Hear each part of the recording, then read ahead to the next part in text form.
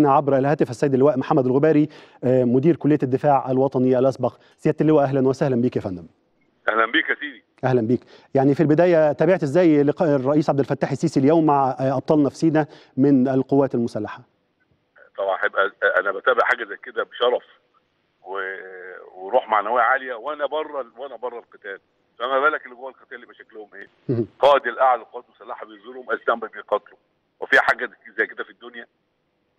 راجل عارف ناسه بتقاتل إزاي وبيشد ازرهم إزاي وهو مشاركهم ما زال شعوره الداخلي إنه عايش في وسطهم وعايش بين رجالته وإن الحرب مسؤولية من أصغر جندي لغاية القائد الأعلى للقوات المسلحة. وبالتالي لها وقع وتأثير في العمليات النفسية على على الجنود وعلى الضباط وعلى المواطنين كمان اللي في سينا. يشعروا إن الرئيس عندهم مش سايبهم في حرب وماشي. لأ ده شيء عظيم جدا ومش هتلاقيه في مكان تاني.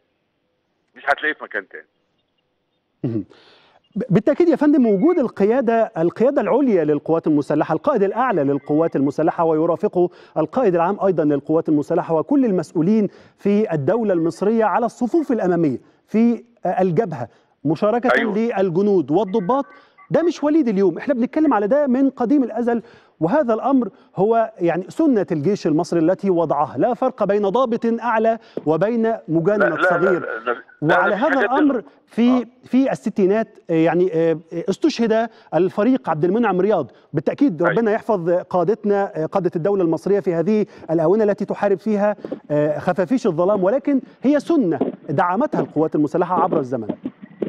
هو برضه لازم برضه نفرق في حاجة.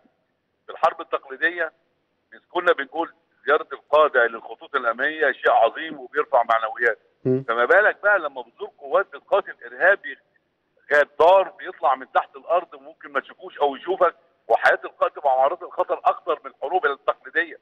يبقى ده مشاركة وجدانية مادية على الأرض مش مش بالصورة ده على الأرض موجودة. فالجندي بيلاقي القائد الأعلى للقوات المسلحه جنبه. بيلاقي الضابط بيلاقي القائد للقوات المسلحه جنبه. المدني اللي أثناء القتال أثناء قتال الإرهاب في وسط المدنيين جنبه رئيس الدولة. يعني الرئيس الدولة عايش في وسطنا ما هواش بعيد عننا. مش بيدي أوامر من آخر الدنيا وهو قاعد. لا ده شايف كل حاجة قدام عينيه. يعني أنا يساعدني على إن أنا أستمر في قتال الإرهاب بكل قوة دافعة وعن يقين تمام إن أنا أحقق النصر إن شاء الله. إن شاء الله يا فندم. يا ست اللي هو تقييمك ليه؟ إحنا بنتكلم عن 16 بيانا للقوات المسلحة خرج من العملية الشاملة سيناء 2018 بنتكلم على عدد كبير جدا ضخم من الأسلحة التي تم كشفها. كانت مخبأة داخل الأرض وأيضا مع الجماعات التكفيرية. بنتكلم على أطنان وأطنان من المخدرات سواء الحشيش أو البانجو كانت متواجدة في سيناء. تابعت إزاي كل هذه البيانات وكل هذه الأمور التي تم كشفها؟ البيانات البيانات القوات المسلحة زي ما قلنا قبل كده في أكثر من مرة ما هي إلا عبارة عن تسجيل لأعمال قتال بدأت من من حوالي شهر ونص من أول البيان الأولاني. البيان الأول كان بيان استراتيجي بيقول لك إحنا هنعمل إيه. طبعا. والبيانات التالية قالت كل قطاع تم التنفيذ إزاي وإيه اللي إحنا اكتشفناه. وعشان الناس تصدق لما كنا بنقول إن سينا اتجهزت في خلال السنة بتاعة الإخوان تجهيز مسرح عمليات تجهيز جيوش بواسطه مخابرات أجنبية محترفة كان الناس ما كانتش مصدقة. في التوقيت اللي ما كانش الجيش يقدر كان يدخل في المنطقة ألف في المنطقة ب وجيم. النهارده الجيش وصل وقعد في المنطقة ب وجيم وبدأ يدرس الأوضاع بالظبط وبدأت العمليات بتاعته مخططة على ثلاث أربع مراحل وشرحنا المراحل قبل كده. تواجد ثم تجهيز المسرح السياسي بواسطة رئيس الجمهورية مع الدول على عشان اختراق اتفاقيه اتفاقيه السلام. ثم إعادة تمركز قوات اللي هتحارب الإرهاب دون الاشتراك إلى أن يتم تنفيذ الأوامر بالعمليات ثم بدأت العمليات المخططة للقضاء على كل ما هو تم اكتشافه ويتم اكتشافه مرحليا لأن الإرهاب دائما مخفي. فأنت هتفضل تستمر لغاية ما انتهي عملية التمشيط تماما هتلاقي برضه تجهيزات هندسية وهتلاقي معدات وهتلاقي أسلحة وذخيرة وهتلاقي حاجات كتير جدا وإحنا متوقعين الكلام ده. لكن إن شاء الله جيشنا قادر على إن هو يكتشف الحاجات دي في خلال فترة التمشيط اللي جاية دي كلها. وعشان كده الأركان لما شاف المهمة كده بعد ما شافها على الأرض وبالطبيعه طلب من رئيس الجمهورية في الدانته الصحفيه اللي فاتت إن يمد له أجل التنفيذ لحين الانتهاء من التمشيط لأن التمشيط ده بيشمل حاجتين تمشيط الأرض وتمشيط السكان. تمشيط الأرض من المتفرقعات وال وال والألغام اللي منصوبة علشان في ذهننا كقوات مسلحة ان أنا لا أترك أرض سيناء زي الصحراء الغربية لما تركها الإنجليز والألمان دون تطهير من الألغام اللي حطوها ولغاية دلوقتي لسه موجودة وعاملة لنا مشاكل الدنيا. فالنهارده أنا التمشيط ده عشان أضمن سينا تخش على التنمية الشاملة دون عقبات. التمشيط الثاني إن أنا بفصل الاخوان ال- ال- ال- ال- ال- ال- الإرهابي اللي كان عايش في وسط السكان بالتهديد أنا بفصله عن السكان تماما دلوقتي وبحط وب- وب- وب- وب- وب- وب- وبسكن السكان كل في مكانه ظاهر نظيف من من التعامل مع مع الإرهابيين أو الخوف منهم. وبالتالي بدأت دفع تعويضات وبدات بدأت التنمية الشاملة تمشي.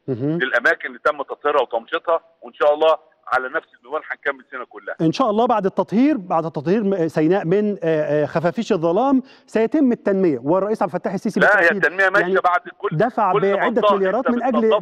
دعم التنمية في سيناء في المرحلة أيوة، المقبلة. كل, منطقة أنت بتنظفها بتحط فيها التنمية على طول. ماشي مع ده مع ده على طول. ودور يعني دور أهالينا في. سيناء وأهل سيناء كبير للغاية في دعم قواتنا المسلحة سواء بالمعلومة أو دعمهم والوقوف إلى جانبهم لأن أهالي سيناء يعني الوطنية في دمهم منذ قديم الأزل من وقت الاحتلال الإسرائيلي لسيناء ووقوفهم ضد آه، القادة الإسرائيليين. هو تاريخ مشرف تماما بس إحنا بنقول إن كل كل كل الناس فيها الطالح والصالح. إذا كان في بعض منهم انزوى تحت طائرة الإرهاب تحت مظله الإرهاب النهارده ال- الأهالي والقبائل اعتبرت إن هذا الكلام كلام آه، ضد مصلحتهم طبعا. وبدأ بعد عملية مسجد الروضه مسجد الروضة إن الإرهاب استهدفهم هم ما استهدفش حد تاني.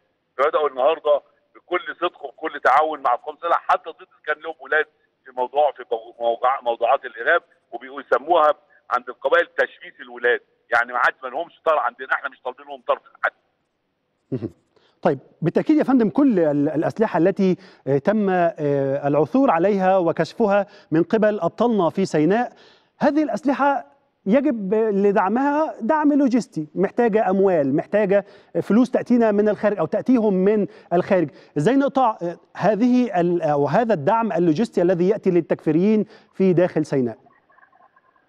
لا إحنا بنقول ال- الأسلحة والحاجات دي كانت بيتم دعمها عن طريق التهريب من الحدود سواء من ليبيا أو من السودان من الجنوب. وكان من ليبيا أكتر لأن ليبيا كان فيها مخزن سلاح كبير من أيام القذافي. طبعا طبعا. وكانت وأيام الإخوان. كان بيصدر الأمر من رئاسة الجمهورية بال بالكونتينر كامل. ممنوع التفتيش. ويعبر قناة السويس من غير من غير آه من غير تفتيش. السلاح في ليبيا كان كبير للغاية. إحنا بنتكلم يا سياده لكن اللواء على عشان أكمل- 25 أكمل لك بس- مليون قطعة سلاح. بس. اتفضل اتفضل. أكمل لك الحتة دي. اتفضل. إحنا أجهزة المخابرات عندنا والأجهزة الأمنية بتعمل لصالح البلد ما بتعملش لصالح رئيس الجمهورية. بتعمل لصالح البلد. فالنهارده لما كانت تصدر الأوامر دي وال وال وال وال وال والعربيات دي أو ال- ال- التجر اللي كانت بتعدي بالح- بال- بال- بالأسلحة والمعدات دي كانت بتتابع إلى أن تعرف المنطقة بس كان مخازن ما كانتش بتعرفها آه، نتيجة إنها بتخش جوه القبائل. لكن النهارده إحنا خلاص بدأنا نفهم الموضوع كويس جدا بالتعاون مع القبائل وإن شاء الله يتم التطهير كاملا إن شاء الله. القبائل في الشرق في سيناء وأيضا القبائل في الغرب في مطروح دورهم كان كبير للغاية وتعاونهم مع القوات المسلحة في تسليم أول السلاح. ناس أول ناس سلمت القبائل أول ناس سلمت السلاح كانت قبائل مطروح. بالظبط. لكن هو إحنا بنتكلم على بعض المجرمين اللي هم بيس- بيستخدموا في التهريب. الإرهابي دايما يركب على المجرم بتاع التهريب. لأن هو اللي عارف ظروف الأرض لأن هو الإرهابي ممكن يكون غريب عن المنطقة. وبالتالي ومؤكد غريب. فهو بيركب على ال- ال- ال- المهرب لأن هو عارف الظروف بتاعت الأرض. وبالتالي عشان كده تلاقي البيان رقم واحد كان بيقول إيه؟ تطهير البلد من جذور الإرهاب والمجرمين. عشان الاثنين مقترنين ببعض. ودعم الدولة الليبية في هذه الآونة هو مهم للغاية طبعاً. من أجل أمن مصر. إحنا بنتكلم يا فندم على. الجزئية اللي كنت بقولها لحضرتك بنتكلم على 25 مليون قطعة سلاح دخلت في الداخل الليبي يعني خمسة أضعاف عدد سكان ليبيا عدد سكان ليبيا 5 مليون دخل لهم الفاضل أيام 25 مليون القذافي أيام القذافي شاري سلاح من رو من روسيا ب 30 مليار دولار في مخازن لم تستخدم. فبالتالي كانت هي مخازن ال- اللي استخدمتها بقى ال- ال- القوى الكبرى في موضوع الربيع العربي.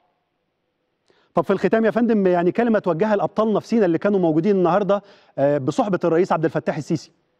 أقول لهم آه، مبروك عليكم زياره القائد الأعلى للقوات المسلحة و... و... وأعتقد إن هو شد من أزركم وإن شاء الله بالروح المعنويه العالية دي تكملوا مشواركم بكل بكل افتخار إن شاء الله. أشكرك يا فندم شكرا جزيلا آه، آه، سيادة اللواء محمد الغباري مدير كلية الدفاع الوطني الأسبق. كانت هذه